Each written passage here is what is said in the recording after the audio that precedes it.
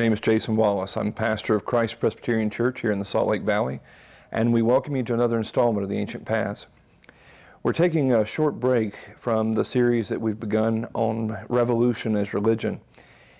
And I've been wanting to do a show for some time now dealing with the subject of children.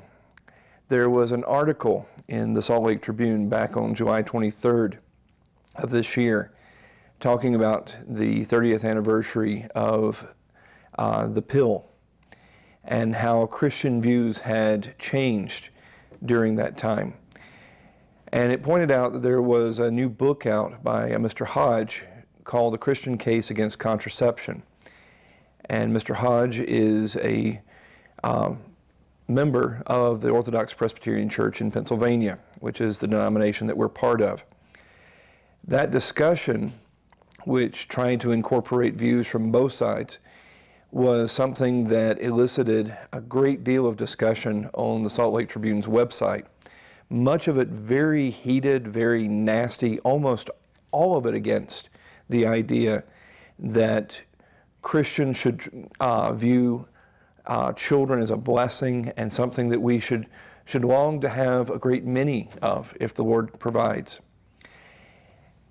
The views that were expressed there, um, many of them are unrepeatable on the air.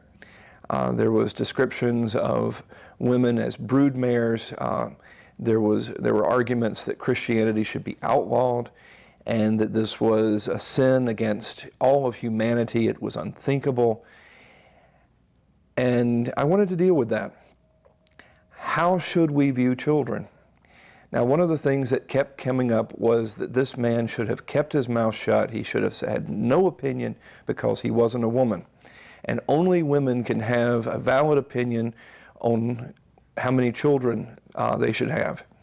And so I have brought a woman on to the show, a member of the same Orthodox Presbyterian Church, member of our local congregation, uh, Desiree Hausam. She's been with us before, and we welcome you back. Thank you. Uh, we're going to look a little bit at what the Bible says, but let me just start off with, with the obvious. Uh, you, you have five children. I do. Uh, do you feel like a broodmare? No, I don't. I think that's ridiculous. It's it's a wonderful life. It's it's just each of them are wonderful, and all of them together are wonderful. But aren't you being crushed under the, the, the cruel dictatorship of your husband? It was something that we decided together, and I don't I don't think either one of us wants them more than the other one does. We both we both want them. But I mean, if if you actually you must be mentally deficient, right? Uh, you, you, you, you never graduated high school or, or much less pursued any kind of college, right? I graduated from college. You're a college graduate? I am. Didn't they teach you that all educated people should only want one boy and one girl just, you know, to to carry on uh, the the race, so to speak? And I, I think I did hear that somewhere along the way. so so did uh, did they make you feel selfish for wanting more children? Um, well, I don't know so much as at college in particular, but that's certainly that's certainly something you get a lot. But now you disagree with that idea. Well, of course I do. It, it actually it seems it, it seems kind of funny to me when people talk about you know it's so selfish to have so many children. It's not. It's hard to have kids. It's wonderful to have kids, but it's hard to have kids. And I always, especially when I'm pregnant, I kind of laugh. This is like, you know, if I was being selfish, I'm not sure this is the road I'd go down. I, I love them to pieces, but it's a hard road. It amazes me that, you know, different people can have different motivations, and I'm not trying to guilt trip uh, people who um, may choose differently. But we're going to look at what the Bible actually says, and uh, but I hear this cliche all the time that if you want to have a large family, it, it's from selfishness. Uh, when you're caring, you you actually homeschool your children, don't you? Yeah.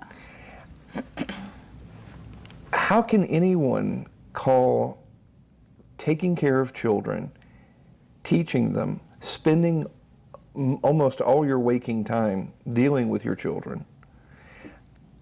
How is that selfish?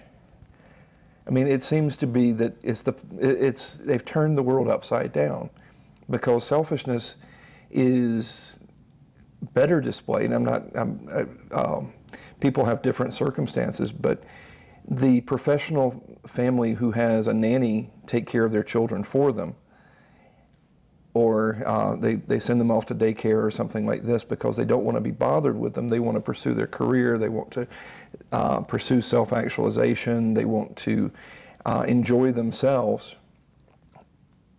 That seems to be more selfish than what you do. Uh, am I, am I, mis- I can't have an opinion because I'm a man. I think you can have a very valid opinion, but you know, and I, I don't like to accuse people of motives, but I, I know that when I, when I wake up in the morning and I know I've got, I've got a big day ahead, I, one thing that I'm thankful for is that this is an opportunity for me to lay down my life, you know, in the way that we're called to do. I can, I lay down my life for my family every day. That's what being a mom is. I'll, I'll, I'll throw something at you here. You have seen sort of the breadth of, of evangelicalism. There are people who would tell you that why are you bringing children into a world when uh, it's such an evil world? How one way the church grows, for one thing, is to have you know to have more Christians. If we have an evil world, it's because there's evil people in it, and to have to have more Christians being brought into the world is a good thing. And besides from that, you know, we're going to look at the Bible here in a minute. If we believe that God says that children are a blessing and we are to desire children and rejoice in having the children that God gives us, that's answer enough for me, whether I, you know, understand all of those things or not. How about the idea that um, some people would have within evangelicalism that you should have at most one child of your own and then you should spend the rest of your time out soul winning? Do you feel like you're actually uh, following the Great Commission in what you're doing? Oh, I do, and I. Um, my memory is terrible, so I can't remember who I'm quoting, but but someone um, said, and maybe maybe it was Luther, said that how can it be a large thing to be one thing to many people, like being a teacher, but be a small thing to be everything to a few people, as in you know being a parent. I, I, I, it never ceases to amaze me that with people who are more socially liberal, they seem to love humanity but can't stand individuals.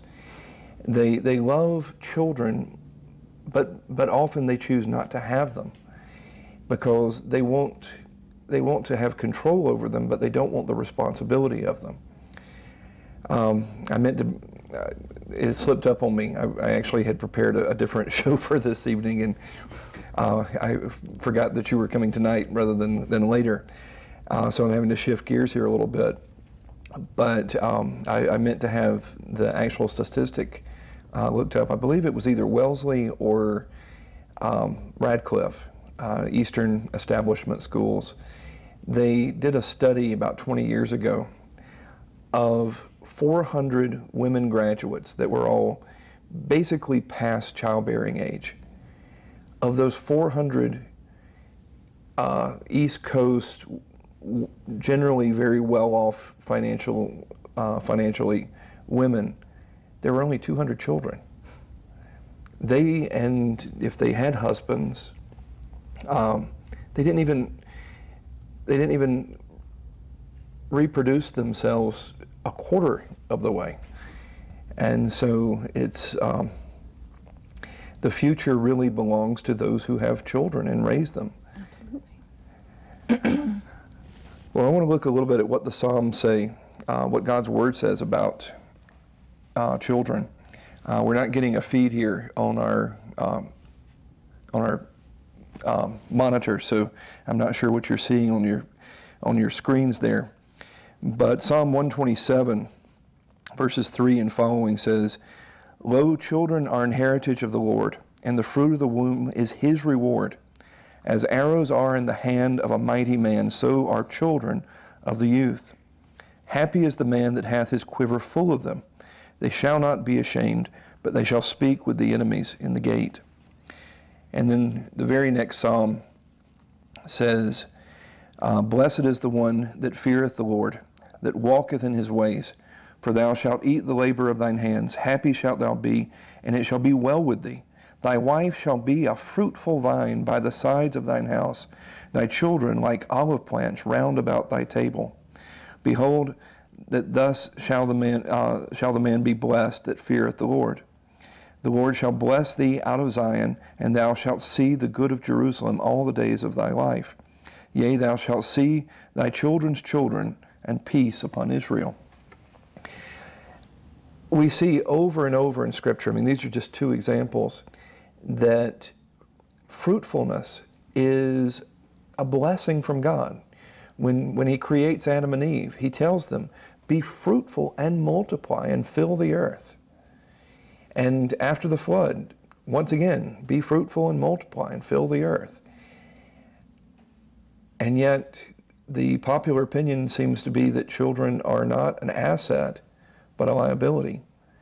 Um, now, your children are young, but what, what have you observed among those who have taken this biblical view that children are a blessing and, and happy is the one who, who has uh, his quiver filled with children?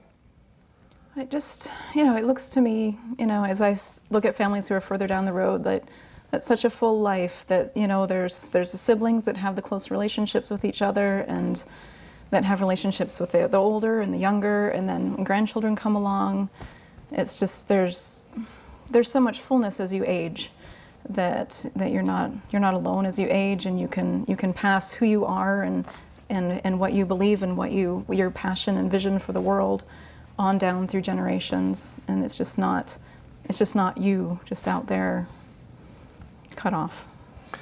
Yeah, the, the question that we need to have is what kind of heritage do we leave behind?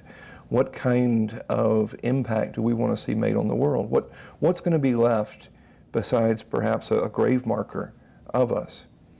Uh, there are some people that in God's providence have not been able to have children of their own, but they've been able to, to make an impact. But the ordinary circumstance if we're able to have children and raise them in the nurture and admonition of the Lord, we leave a heritage behind us. You know, one of my great frustrations, um, it's come out numerous times in the shows, has been the pessimism of so much of evangelicalism, uh, a lot of it based on dispensationalism. A good friend of mine, his in-laws were horrified when he and his wife got married. Why would they marry when uh, the Great Tribulation was right around the corner? This was back in the 70s.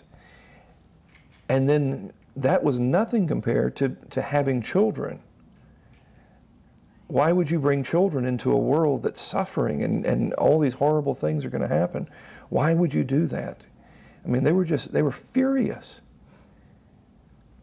and now the youngest of those kids is in you know mid 20s but I think that we we lose our optimism for the future and that we can make an impact that the future really does belong to our children and who's having them. Right.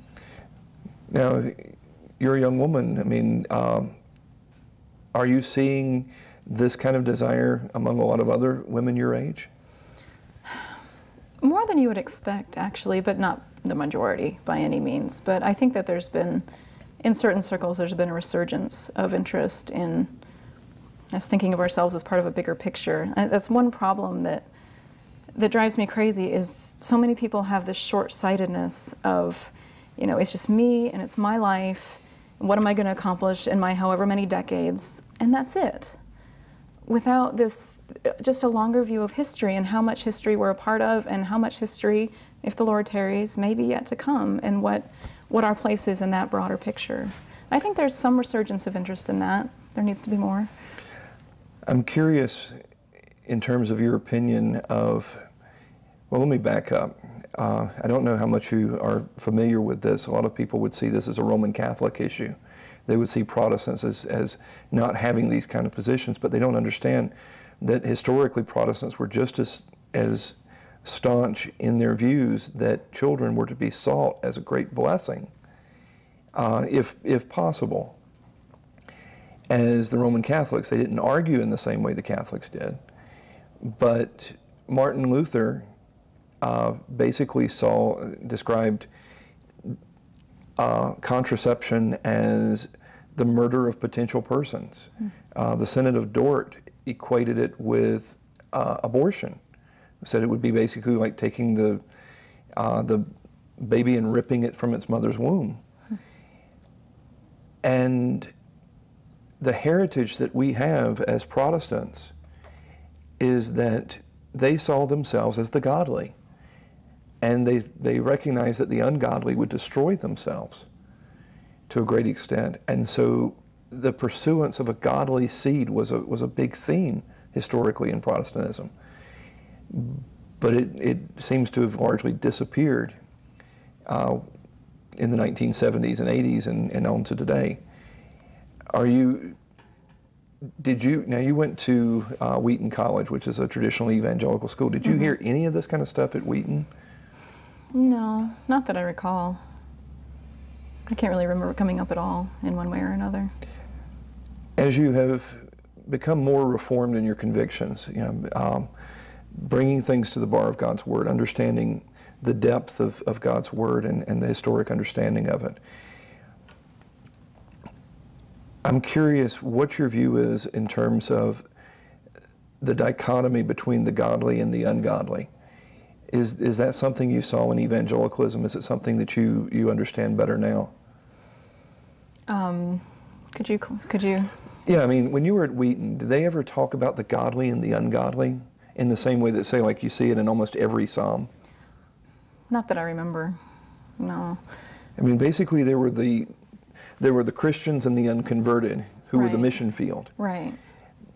But the sense in which the scriptures talk about the ungodly uh, being like chaff and being destroyed and things like this, um, that's not a theme that's that's very prevalent in much of evangelicalism today, is it? No, I never, never heard too much of that. I mean, I'm sure, in some circumstances, I'm sure people talk about it, but not really a lot in the circles I was in. Now, you know, you've you've gained an affinity for singing psalms over the years. I have. Uh, 148 out of 150 psalms make some contrast between the godly and the ungodly. What Right. what do you make of that? It's important.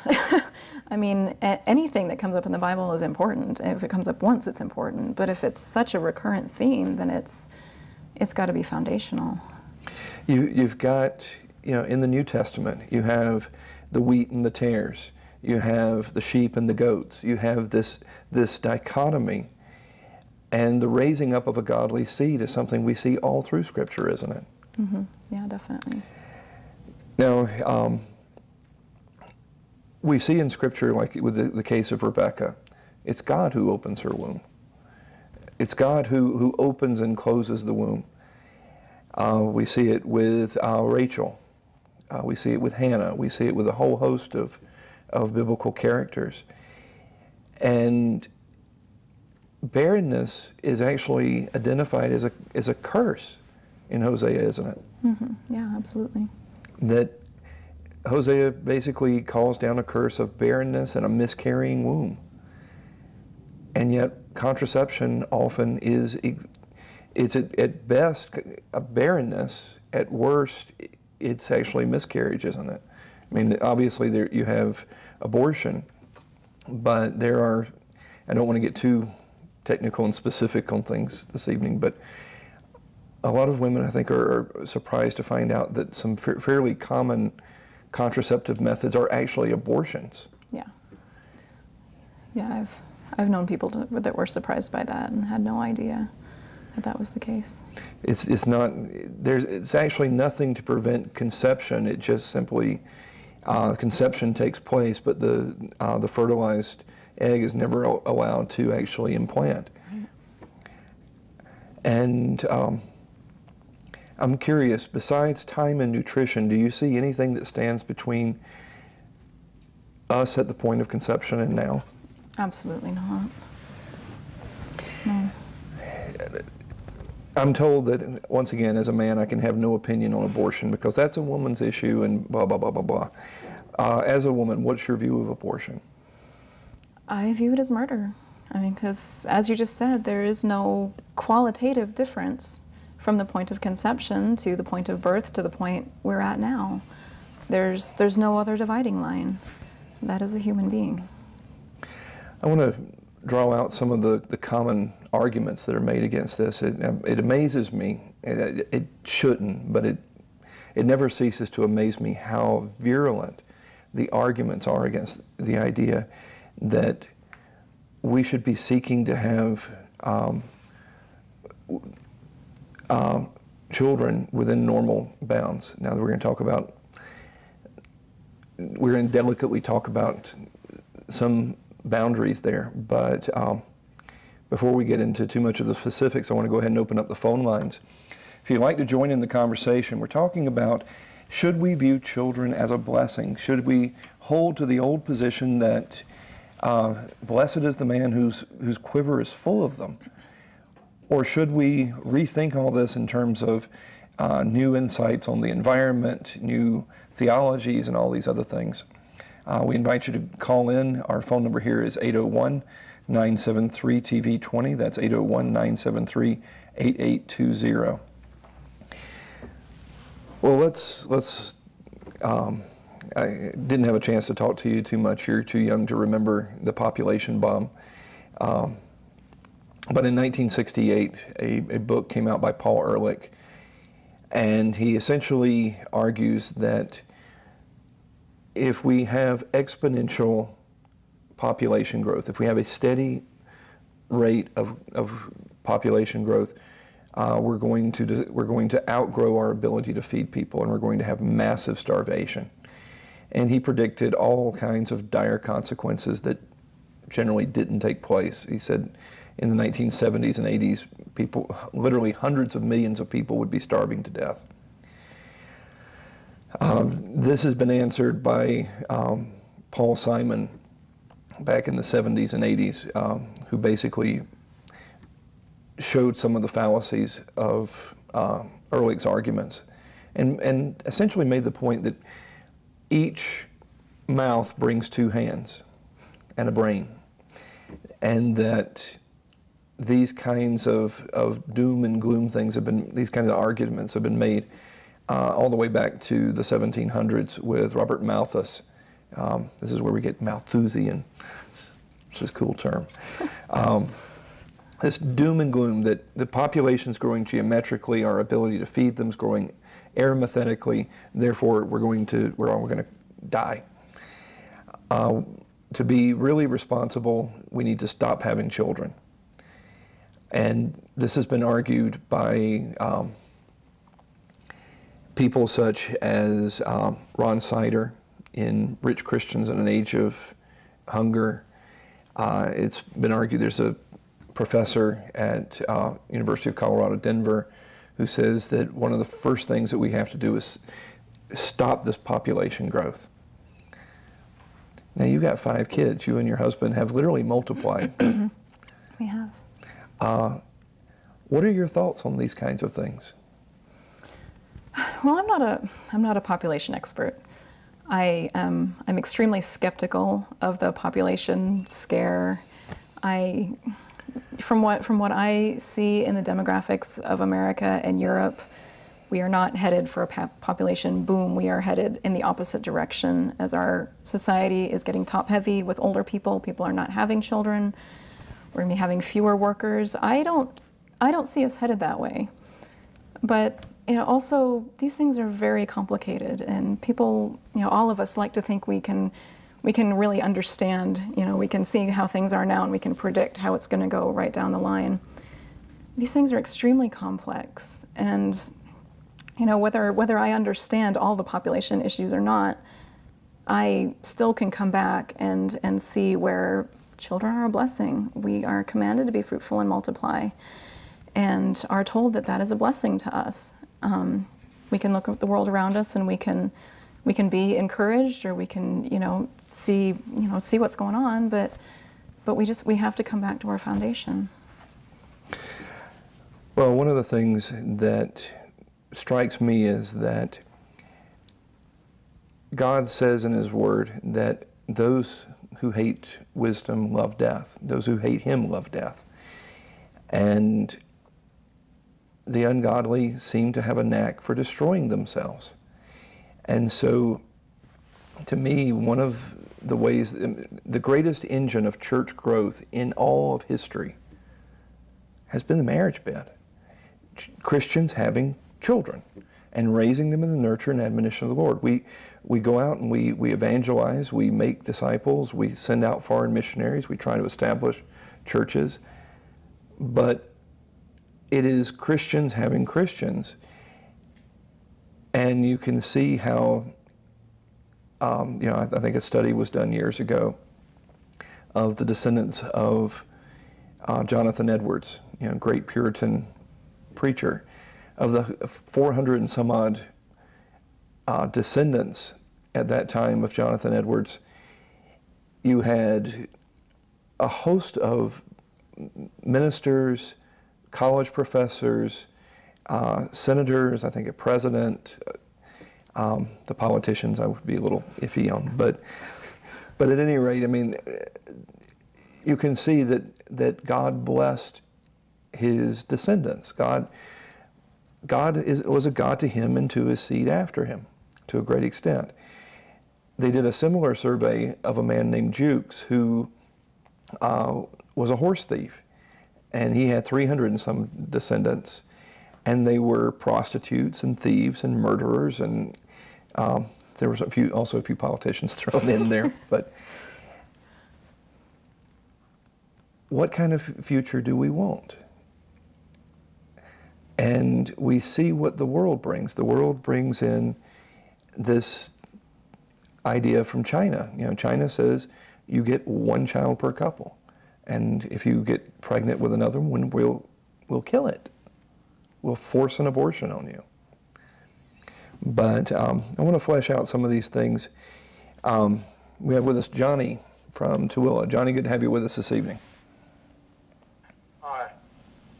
Yeah, I was uh, calling to comment on the population explosion, and I believe uh, I said that uh, be fruitful in God and multiply is what God said, and I believe, you know, uh, God is totally in control. Most definitely. Yeah, I mean, the. Uh, I, I, I'm not endorsing her, but um, the uh, Ann Coulter in her book Godless made a comment something along the lines that um, you know the liberals' um, favorite program is the one-child policy in China. The the historic Christian position is basically we multiply, we fill this earth, we uh, go and colonize Mars, and you know it's it's an optimistic view for the future because we have confidence that, that God is in control. And these guys have always underestimated that God provides. And, you know, I can go through all kinds of nightmarish scenarios that have been put, put forward before us. You know, the reality is uh, we do need to be good stewards. We do need to be planning for the future. Uh, and this is not something that we're commending to everybody. In fact, if people are in rebellion against God, uh, then you know they're they're going to have a tendency not to seek kids. Uh, this is not something that we're saying everybody needs to be doing this, but we're saying that the Bible views children as a blessing, and I think too often we drink from the same water as, as the world, and we, we imbibe this thinking that well, that was the old way of thinking, and now we need to be more enlightened and we need to think that the truly godly position is I'm only going to have one child. By what standard? The scriptures haven't changed. Um, I truly believe that, just like a lot of uh, people don't believe. Uh, you know, it's the old, uh, the Old Testament still stands, and I mean, uh, God said, you know, I come to fulfill them, you know, not to, know, to abolish them, you know. That's what it's all about. It's all about the Word of God, and God don't change His mind, and you know, and He don't write one thing and then change His mind later, because that ain't God. God is, know, forever God, and uh, we are not. So I totally agree with you. Well, thank you, Johnny. Um, come see us sometime. We're right around the point of the mountain there from you, uh, right there in Magna. Thanks for calling. Um, now, let, us qualify a little bit here uh, because we've been giving some generalities. Uh, is it your understanding that if if someone's life is in danger, that they're under the obligation to have um, children to the point that it kills them or, or, or puts them in, in physical danger? No. But I, no, but, I wouldn't say that. But I thought you were supposed to have a towel wrapped around your head and be um, shouting, you know, uh, Allah Akbar or something like that with those kind of ideas, right? Not today, no. not ever. You're, you're, you're, not some kind of zealot, huh? I don't think of myself so. I, I, I, thought from, from what the world says that you're supposed to be rabid and uh, humorless and, you know, I mean, broodmarish, uh, like the guy said in, in his comments. Let's qualify this. Um, this is the ideal.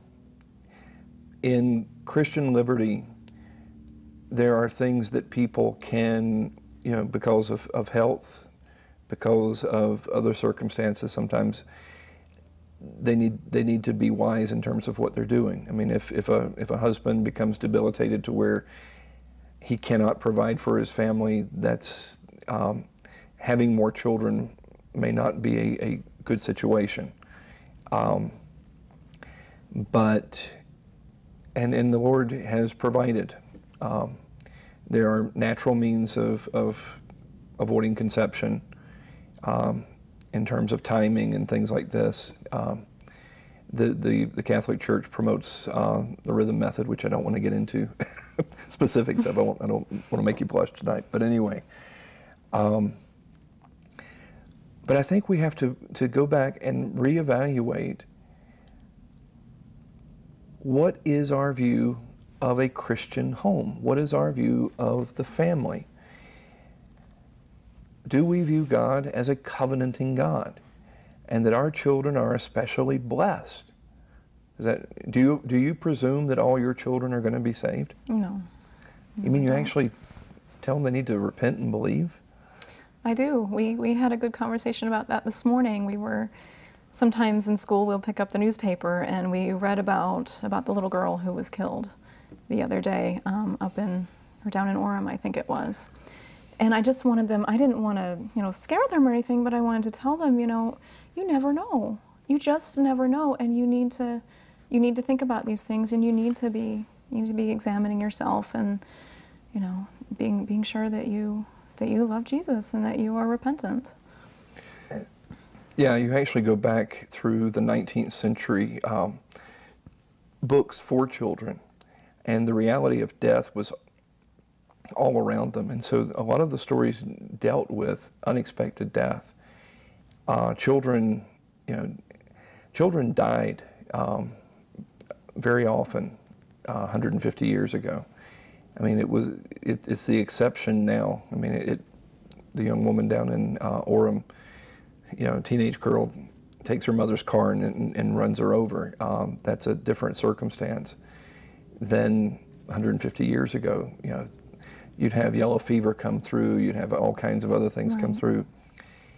And um, those books are, are really sobering in terms of warning children be prepared.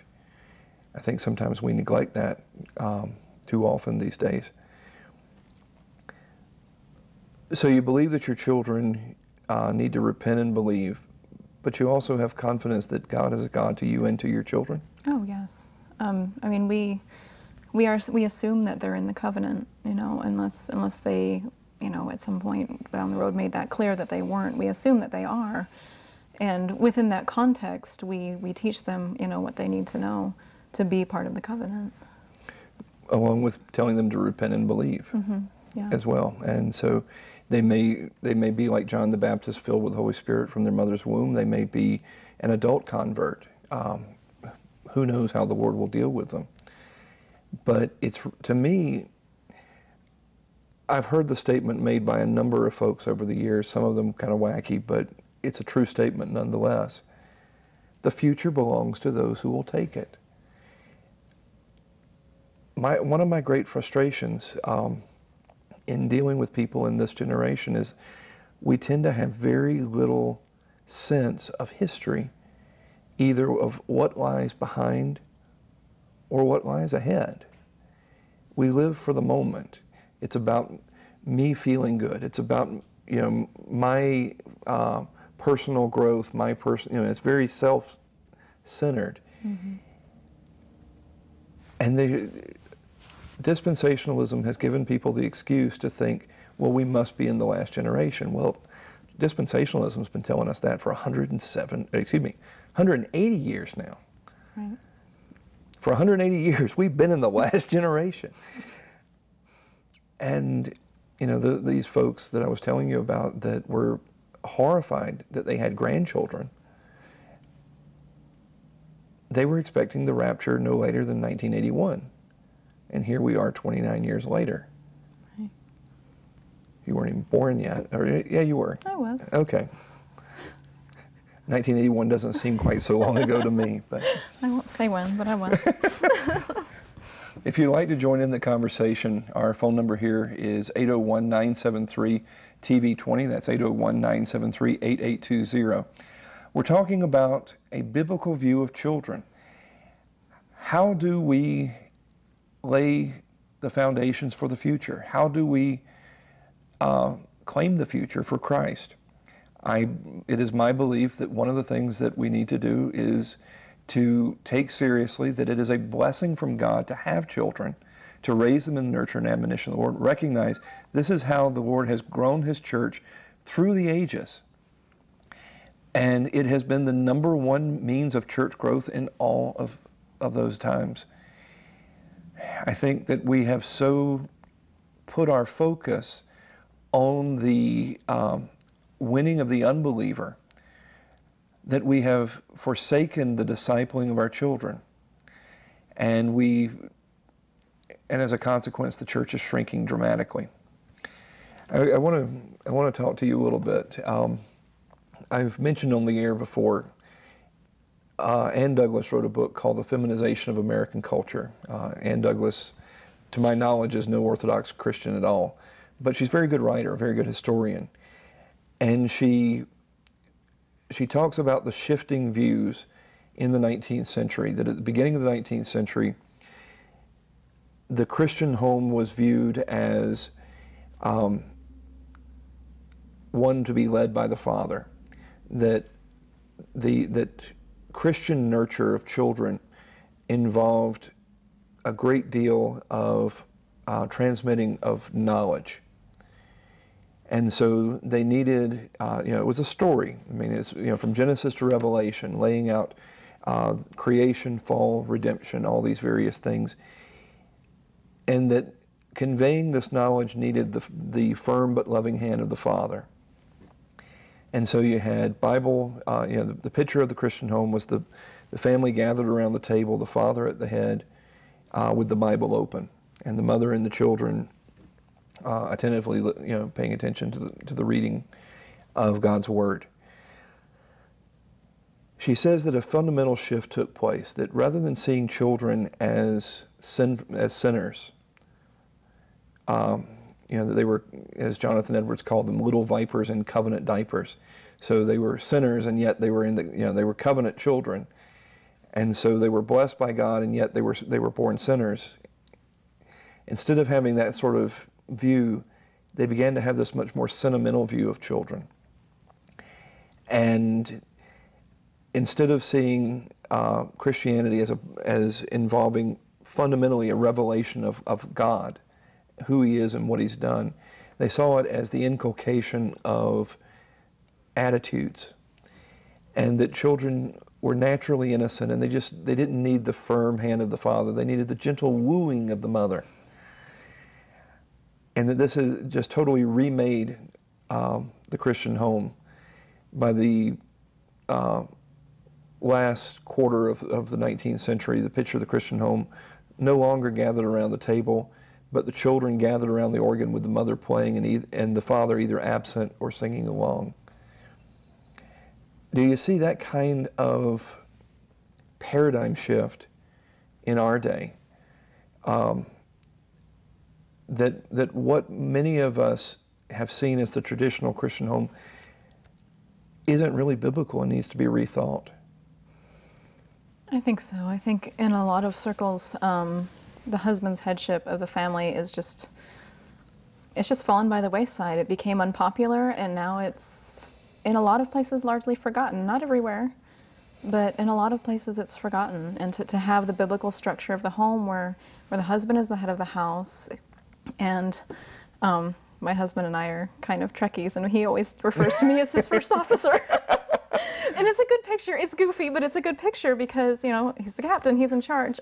But I'm not, you know, I'm not some little ensign. I'm I'm the first officer. I'm I'm the next in command, and my my job is, you know, I'm the manager, and I'm overseeing everything under him. And Just, anyway, ju- just don't pull any Counselor Troi things. no, no, she, she no, was an please. airhead. But anyway, I'm, I'm showing my geek status here.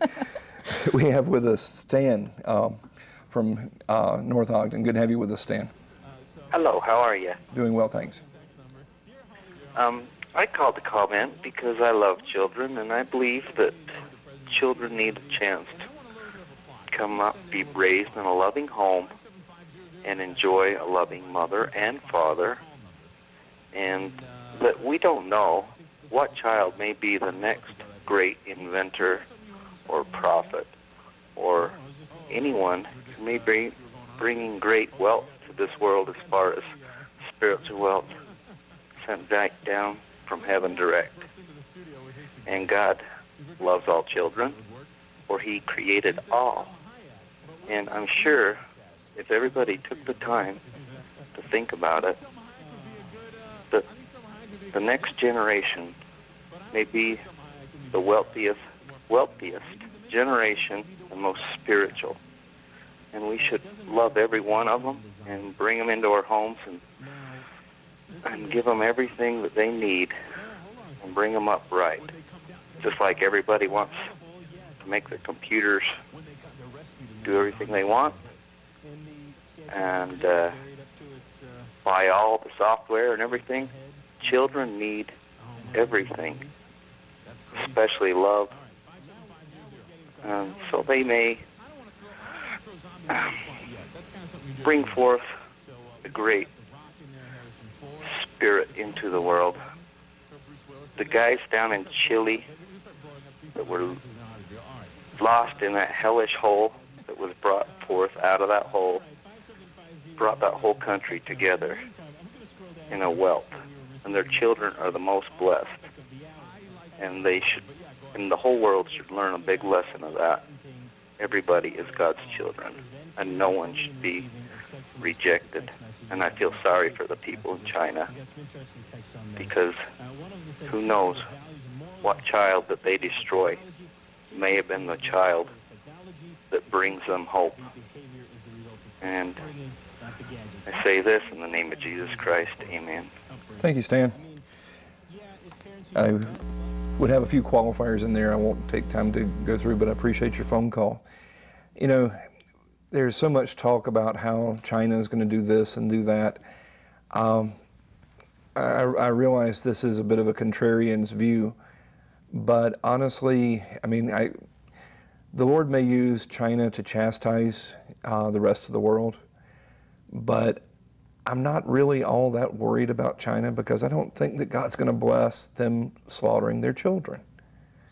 Uh, we, we see what happens with um, the Canaanites, how they sacrificed their children to Molech. Well, at least they were thought they were worshiping a god. The state's saying that it's doing it for convenience. And eventually, after 400, 400 years after Abraham, the, um, the wickedness of the Amorites was full, and the land vomited them out. And I think they are calling down God's judgment upon themselves. Of course, so are we as a nation. We slaughter our children. Um, and so, I'm, I'm not, I'm not saying that we're going to be immune. I think we're under God's judgment right now. Um, just as a qualifier, we're going to take another phone call in here in just a second, but um, just because someone's not bound to do something doesn't mean that it's not commended. Remember, uh, Rachel desperately wanted another child and died in the process of having Benjamin and is commended for that. So um, anyway, it's just something that I think we we we we drink too much from the spirit of the age sometimes, and we treat children as if they're pets rather than if they are a blessing from God that we're entrusted with the, the nurture and admonition. We have with us Roland uh, from Provo. Roland, good to have you with us. Roland? Are you, are, am I on? Yes, you're on the air. Oh, uh, Jason, uh, I, uh, I agree with everything you said here in, in, in the Christian sense. But I want to make a social, a social comment about the children. Uh, having children is a private affair. It, parents should make sure that whenever they have children, they are able to provide for them. I understand. You need to turn your TV down. Uh, you're getting an echo. So uh, uh, the, thing, the, the problem nowadays is the people that have many children that they can't afford, they expect society to pay for it. I, I don't want to pay for somebody else's lovemaking. That's their problem. And I think people ought to make sure that what they produce, they can provide for. Understood. Now you look, you look in China, or you look in, in India, and in Africa, what children are produced with in total disregard of, of any responsibility. That is not good. Uh, God, doesn't want that either. My second comment is about the lady. Uh, there's a, uh, a homeschooler. I think homeschooling is a subculture that is negative for our society because they are they are held by by intelligent uh, parents. They think they can give more to their children than the rest of society. And admittedly, our education system is is, uh, is not educated. But these children, they grow up in a in a different society. They become a subculture. They I, we have one in the neighborhood. These children, they just crave to crave to be uh, with, with the rest of the uh, children, but they never get the real chance. So uh, I think this young lady is too young uh, to uh, to uh, understand the full consequence of, of this movement. This is not good for our society. We, we ought to grow together and not apart. And the homeschooling is, is a subculture that is not doing good for society. Thank you very much. Thank you, Rowan. Um, I'll, I'll, let you chime in on this as well, but in, in my view, obviously there are some nuts and flakes out there who homeschool because they're weird and they want their children to be weird. At the same time, um, I'm glad we homeschool our children as well. And I'm thrilled that they are not part of the mainstream culture uh, with Paris Hilton and Britney Spears and uh, slaves to every fashion and fad that comes through. Um, our oldest, I wouldn't have brought this up if homeschooling hadn't been criticized here. And, and I'll qualify it. I mean, it, homeschooling can be a magnet for every nut and flake under the sun, and yet at the same time, uh, it is, uh, it's not the state who has the rights to our children, it's us. And we're to raise them in the nurture and admonition of the Lord. I'm not going to send my children to a school to be indoctrinated, to be um, slaves to the state. Uh, our oldest, you know, the Lord blessed in spite of our multitude of failings. Our oldest uh, is 17, uh, just turned 17. Uh, he started early enrollment through Salt Lake Community College. He's tested out of his freshman year entirely. He's at the top of his class in Calculus 1, Chemistry 1, uh, Biology 1. He's uh, taking some other classes as well. He's hoping to go to the U and enter the um, medical engineering program and then go to medical school. Uh, his ACTs are among the best in the nation. Uh, I wouldn't have, and he's a he's a godly, serious young man. I, what what are your thoughts? well, obviously, I I disagree that homeschooling is bad for our society. I think it's wonderful for our society. Um, as Christians, you know, we're, we're to be in the world and not of it. And I don't think the best approach to that is to send our children to day in, day out, receive an education that is godless. The knowledge of God is the beginning of wisdom. How can you have any education? How can you understand um, anything, science, history, anything, without understanding that God is at the center of it? I, I don't see any way around that problem. And I know, I know a lot of, of homeschooling families and homeschooling kids who are very well adjusted members of society when they grow up. They, we don't, there are, as you said, there are crazy homeschooling families. There's crazy families in every situation. Most homeschoolers don't sit inside their four walls every day. You know, we get out, we do things, we interact with all different kinds of people in all different kinds of situations, and it's wonderful for the kids to learn how to really be a part of the real world that's out there and not just learn how to be a part of a classroom. It's a much, much broader education. Yeah, I, I agree entirely. I mean, the there is no neutrality, and when you look at the public school system, they're trying to inculcate. Uh, no longer is it simply tolerance, but it is acceptance and affirmation of every aberrant lifestyle imaginable. They want to teach your children that what was considered perverse and unspeakable a generation ago is something that they not only are going to be dealing with in the world, but it's something that they need to affirm that this is good for this person. They drive home to them this this idea that there there is no absolute basis of morality, and it, it's horrific. And you look, the public school systems are racked with, with all kinds of incompetence, disrespect. Uh, we, we see, you know, the longer American students actually start off fairly high in comparison with the world when they first go into public schools. The longer they stay in public schools, the lower they go. And I, I think the whole idea needs to be rethought. It is not natural to create these artificial peer groups that they you create a subculture of youth. Mm-hmm. I mean, before we had public schools, I mean, the original public schools were one-room schoolhouses where everyone was mixed together. You didn't have so much this subculture of youth with its own music, its own uh, movies, its own everything, clothing, and everything. children's primary uh, peer group, the, the, the group they identified with, was their family. Right. And it's the destruction of the family. I mean, we did a thing on this with Hitler. Uh, Hitler wanted to destroy the family to promote the state. And he knew that public education was the uh, primary means of that. And he told people who opposed him, said, you're going to pass away, but we'll have your children, basically.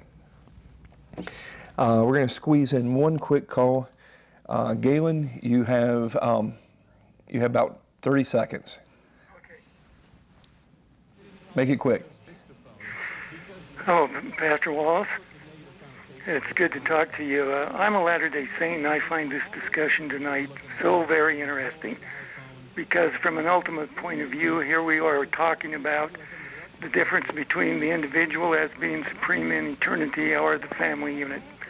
And since uh, historic Christianity has said that the family will cease to exist after death, I find it, uh, well, not disturbing, but I find it kind of uh, interesting that they would still emphasize family life as far as mortality was concerned. But since uh, the individual is supreme and will be after death, uh, then uh, an individual will put in a lot of effort to develop a family. Uh, it seems to me that uh, that effort seems to be kind of wasted as far as mortality is concerned. So this discussion to me is very important in terms of uh, uh, seeing, uh, as historic Christianity says, that the individual is supreme to the family unit, and Galen, we're almost out of time. Of major reasons we have this kind of problem. Thank you. Sure thing. Um, Galen, I'll, I'll put it bluntly. Uh, we've only got we've got less than two minutes left, so I'm going to make it quick. Um, I stand by what I've said before that uh, the Latter day Saint position presents a different God and a different gospel than the one in the scriptures.